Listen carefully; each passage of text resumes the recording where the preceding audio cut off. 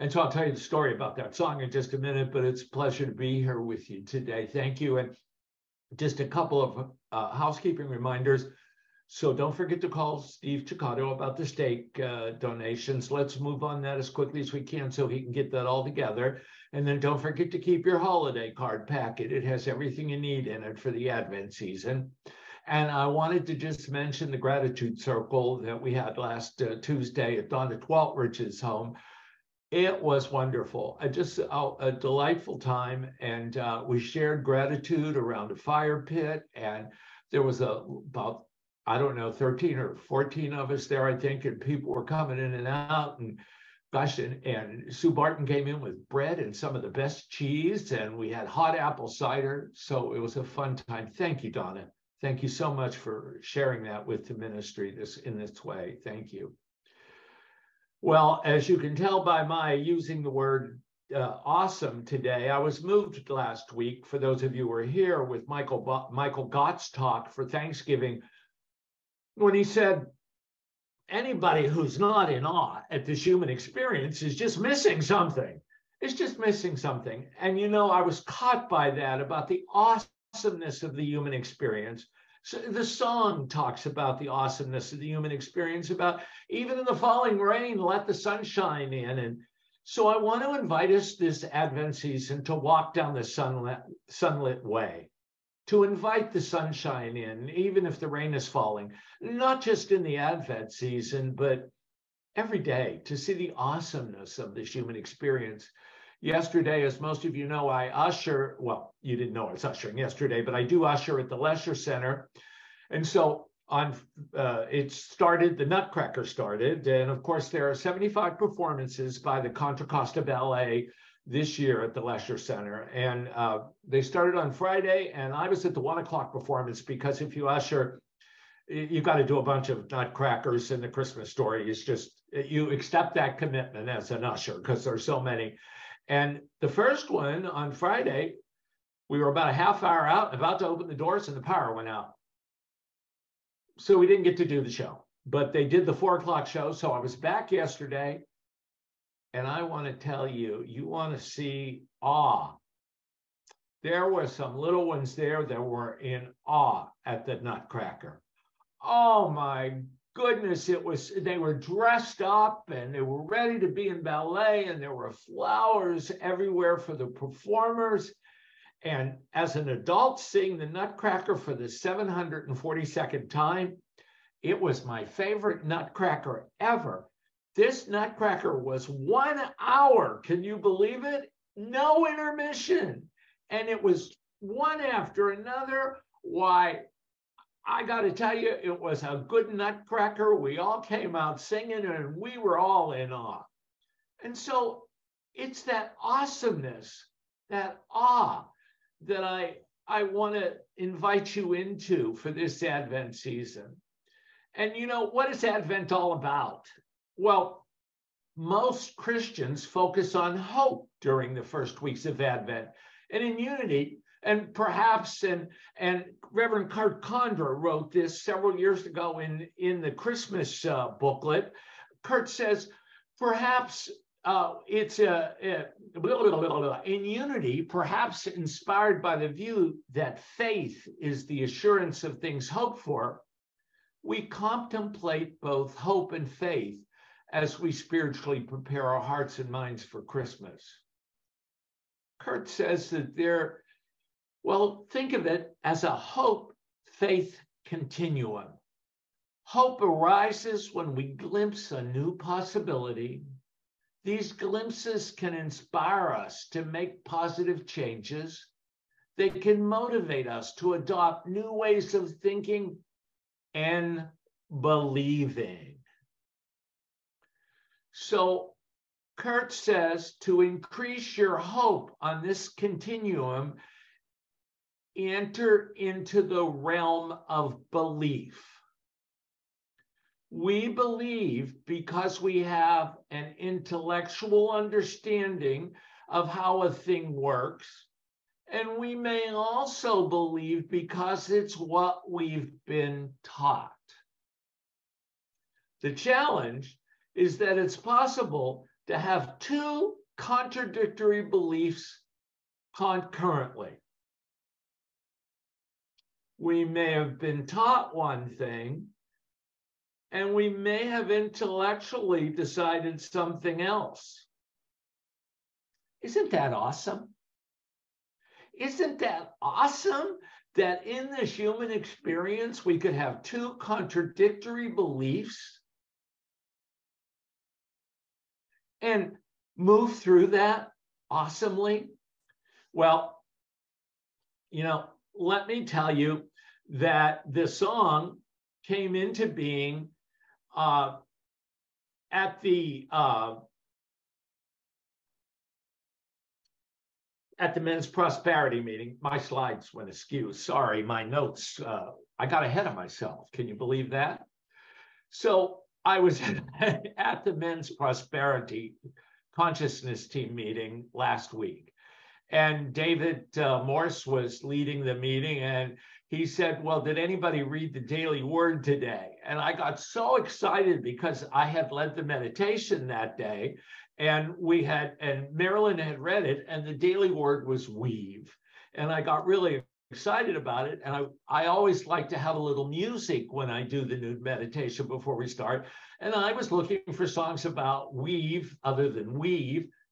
And Weave in the Sunshine came up. And it was, I said, oh, this is what we need to do for Advent. So, and then to go to the men's prosperity uh, consciousness team, we must be prosperously conscious because we're all thinking alike. And we talked about that. And, and, and one of the essences of what that daily word said was no matter how my story unfolds, I am creating meaning for what happens in my life. I take the elements of my past and present and weave a pattern that leads me to a brilliant future of love, possibility, gratitude, and joy. So, no matter how my story unfolds, no matter how this human experience unfolds for me, I, I'm divine and I bring elements of things that have happened in the past and things that are happening in the present and I weave a pattern that leads me to a brilliant future of love, possibility, gratitude, and joy.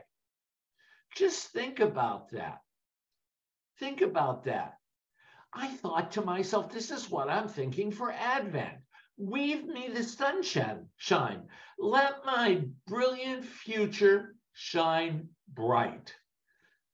So as we move through refreshing, renewing the Christ within us this Advent, let your brilliant future shine, shine bright in all the decisions you make, even if you've got contradictory beliefs about them. You have the spiritual understanding, the spiritual intellect, all the gifts that you need to move forward in faith to make the right decision to choose the right thing. And no matter what it is you choose, brilliant things can still unfold, no matter what you choose. So I was, uh, so here I was two weeks ago. Well, I got to back up before that. Right before we, right before we went to Unity Village, which is a while ago now, hard to believe. I took my car into the shop. The power steering had a problem. I knew it, and I, I, I denied it for as long as I could. Well, then I had to face reality, and I took it into the shop, and oh, he said, "There's quite a few things going on in your 18-year-old uh, car, and uh, why don't you leave it here while you go to Unity Village, and we'll see what we're going to fix." And while I was there, they called and said it was $3,500 to fix it. Well, now, bear in mind that the blue book value for this car is $4,000. So I had to stop and think. And boy, I was having a lot of conflicting ideas going on, a lot of conflicting beliefs going on. I love this car. I don't want to get rid of it. I don't want a car payment. Well, cars only last so long, blah, blah, blah, blah, blah. I said, fix it. Put the $3,500 off. Fix it. It'll last me for another five years. I've replaced everything in this car. They fixed it. I picked it up. drove around for about four days, stepped on the brake, and it went to the floor. Oh, but I pumped it, thank you, God. It came back up. And so we got the brake, but we ended up back at the Ford dealer. And the serviceman said to me, You know, I don't think I'm going to sign your car in today. I think we've decided not to service your car anymore. You've put enough money into it. We don't want to service it anymore. Buy a new one, buy a used one. I said, You're kidding me. He said, No, I'm not. When are you going to give up on this thing?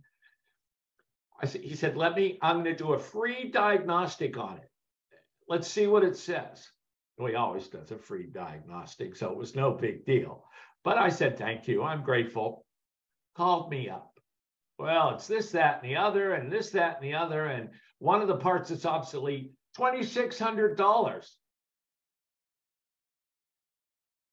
Well, let me backtrack on this story now for a minute because here I am at a well at a turning point right? Here i am at a decision. I've got more than two conflicting views and and i was in denial and i'm not sure if i'm still out of it if i'm out of it or yet, yet or not. And so i have to tell you that i knew this car was getting car was getting older the guy across the hall from me that helps me with financial planning even said to me about six years ago, that car is getting old. When shall we put another one in the budget?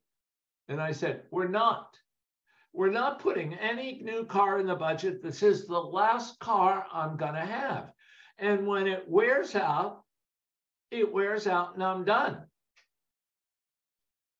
Well, I've been saying that for six years now. Well, that's in my mind. Let me tell you, it's a belief. And so I had to make a decision about whether I was going to keep that car or whether I was going to get another car or whether I was going to do what I said I was going to do and have been prophesying that I was going to do for the last six years. I was going to be carless. Well, I went through, you know, I told him I'd call him back on Friday, but he didn't call me and I didn't call him. And the weekend, uh, he was too busy to call. So I got to ponder and think and ponder and think and forget about the awesomeness of this human experience and forget about this and forget about that. And I finally made a decision that I had to get rid of the car. And what was I going to do with it? Well, the only thing to do with it was to donate it. Well, who am I going to donate it to? Blah, blah, blah, blah, blah. And so I went online to look at easy because you know there's well, you it's an you can get yourself. I mean, there are a lot of scams out there in car car donations. So be careful if you decide to donate a car. But I chose the Make a Wish Foundation. Uh, good, good foundation. I've donated them before, and in hospice we dealt with them a lot. So I came in, I went in, and you can do it all online. And I filled it in, and it came time to push the enter button. And I got up out of my seat and went, Oh, I don't want to get rid of my car. What's going on here? I'll have to. What am I going to do without a car? How do I get to the grocery store? Am I going to get a bike? Will I walk here? How are my legs? Blah, blah, blah, blah, blah. And I'm walking out, and I walked out onto my patio, and it was a bright, beautiful day, and the sun was shining, and the leaves were falling, and the awesomeness of this world popped right back into my mind. And I said, What are you doing? Why are you putting yourself through this? Walk out of the falling rain, let in the sunshine walk the sunlit way. You've already thought about this. Everything's going to be fine. And I walked back in, hit the enter button, and off it went. Picked up the phone, called the car dealer, told him Make a Wish Foundation was going to be coming on Monday of this week, and it was all done. And gosh, I felt good. Gosh, I felt good. One of my favorite Unity books and one of my favorite Unity ministers is Reverend Ernest C. Wilson. In 1950, 1928, he published the Unity book, The Sunlit Way. It was written by Reverend Ernest C. Wilson and published by Unity School of Christianity in 1928. It's the sweetest little book, and Reverend Ernest Wilson is dear to my heart. It, he was ordained in 1915. And uh, I have to be honest and say, he's a gay man. He was a gay man. He had a partner and for, founded a church in Los Angeles and in the 50s or in the 40s, uh, early 40s, when the Fillmores, Cora and Charles uh, went traveling, they visited Ernest and his partner in Los Angeles. And I just love that part of the story. It's special to me because no matter what was going on in Unity, there was Charles, there was Charles there with Cora holding on to principle and honoring the work that this man did. And in the for, forward of the book, The Sunlit Way, the writer of the forward writes this The Sunlit Way, as a book, has been in preparation for several years, ever since a memorable, memorable summer's day when the author stood looking down a long highway lined with California eucalyptus trees. The sun was setting. At the very end of the road, it seemed, and its bright radiance was reflected on the gleaming surface of the much used highway. A road of sunlight leading straight into the glory of the sunlit uh, itself, the sunlit way. And so it was after that that the sunlit way was written in over a period of time by Ernest C. Wilson, who was born in Fargo, North Dakota and ordained in 16, 1916. He was known internationally as a lecturer, writer, and a leader. His ministry began in San Diego. He was all over the place, including being the head of the uh, Society for Silent Unity in the 30s back in Kansas City. And then in 1939, Ernest fathered the Unity work on the West Coast by, finding, by founding Christ Church Unity in Los Angeles. He returned to Kansas City once again, and in 1965 served, and some of you who were on our trip to Unity Village will remember this, served the Plaza Church until his retirement in 1976. During his tenure of service to Unity, he wrote 17 books, compiled many poems and articles, introduced the master class, master class lessons in 1932. He originated Unity's Christmas candle lighting and Easter flower service. And even with all this, he spoke daily on radio and became a celebrated television pioneer. So I want to share a little bit from the Sunlit Way with you because it's got such good advice in it. And if you want to find the Sunlit Way, of course, it's out of publication now, but you can go to Reverend Mark Hicks's site, truthunity.net, and look up Ernest Wilson, and you'll see a PDF version of the Sunlit Way. It's just so much fun to be able to have it in, in its entirety, and you can download it. And you can enjoy such chapters, small, short chapters as the new heaven and the new earth, the truth that heals, concentration, creative thought, desire and vision, faith and true substance, and it includes both a prosperity and a healing treatment. So I pulled out some excerpts from Faith and Substance because we're talking about faith and hope. So Ernest Wilson says this Do you seek health? Would you demonstrate riches? Do you desire success in all things? Then when you pray, believe that you receive them, and ye shall have them. Belief is your contribution to the science of prayer. Gotta say it one more time. It's the key. Belief is your contribution to the science of prayer. Paul told the Hebrews that faith is the substance of things hoped for. What you believe in, that you become, I'm sorry. Paul, I am doing so good today.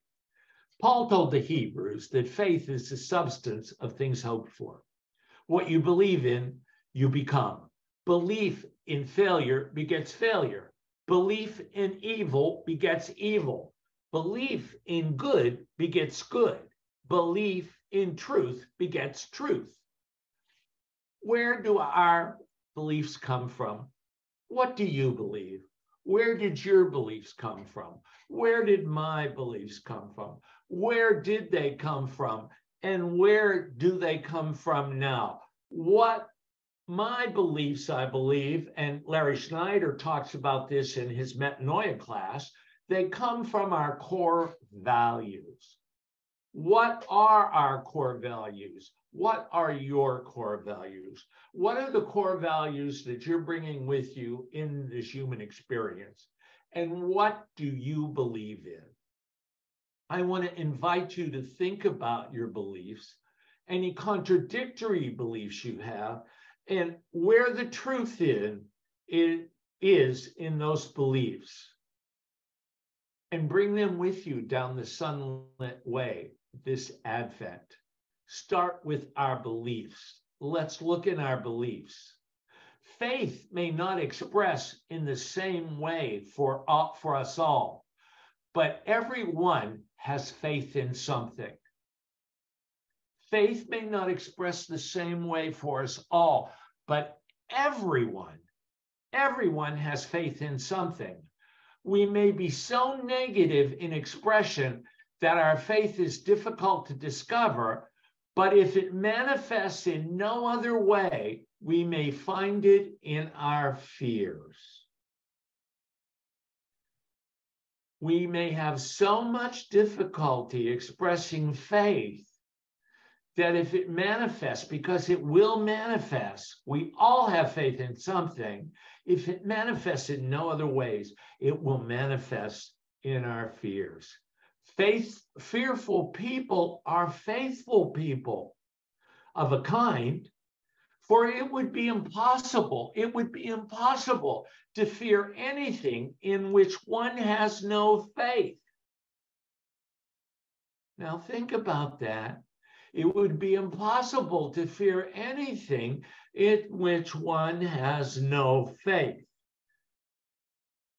Faith is a tremendous force it will accomplish marvels. What are you holding your faith in? Where are you putting your faith? Are you putting your faith in your fear or are you putting your faith in your truth? If we're going to walk down this sunlit way together this Advent, we need to put our faith in our truth. Remove it from our fears. We need to begin to express our faith, to be expressive and powerful in our faith from that power center. The unhappiness of the world is largely due, and this is from Ernest Wilson, the unhappiness of the world is largely due to misdirected faith. Faith in material things instead of faith in that which produces them. We do not ordinarily have faith in new things and in strange things. Our faith in these things must be developed through acquaintance with them. So it is with truth. When we first hear truth, it's new to us if we've not heard it before. If we've been taught misdirected or misguided things, things that are not truth, fears, and as we're realizing truth, there's it's strange to us, and we have to let our faith be developed through acquaintance with it. If you would acquire the faith that demonstrates, in other words, if you want the faith, if you're going to acquire the faith that demonstrates, study the evidence for it. What did what did you bring that faith to? What did you imagine? What was the hope? What was the belief? What was the glimpse that you saw and that you demonstrated faith to? Study the evidence of that. How did it happen? What did you apply? What did it bring? What didn't it bring that you wanted? What did it bring that you didn't want? Associate yourself with others who have found faith helpful.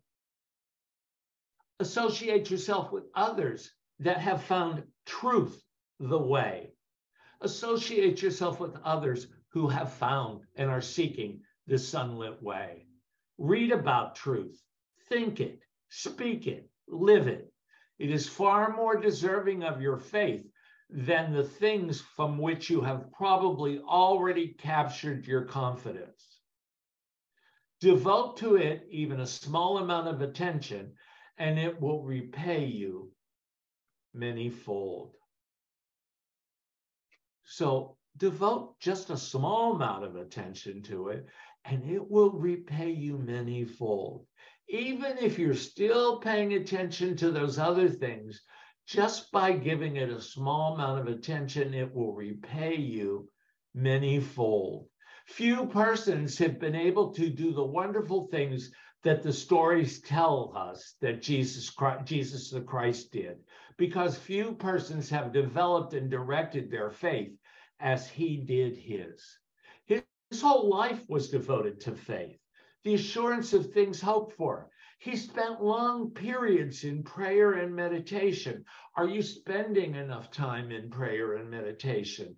He had learned to unify his thought forces with those of spirit. What did he do? He learned to unify his human experiences and his divinity with those of spirit and brought them into one.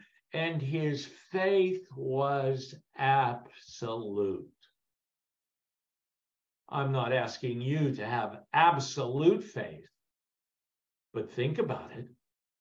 Think about having absolute faith as you walk down this sunlit way. See the awesomeness in this human experience. Have faith in it.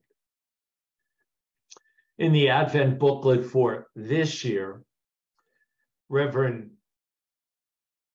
David Bryan Adams writes this in A Christmas of Peace and Light. I invite you to enter this Advent season with the hope, faith, and wonder of a child. Fill your heart and mind with excitement as you consider the spiritual gifts that are yours for the asking. Establish your faith in the expectancy of good being poured out upon you consider all the ways you might radiate the good gifts out into the world. Make room in your life for the rebirth of Christ within you, and rest assured, beloved one, that, that you truly have received the most prized gift of all. Beloved one, rest assured, beloved one, will you walk down the sunlit way with me this Advent? Beloved one, thank you for being here this morning.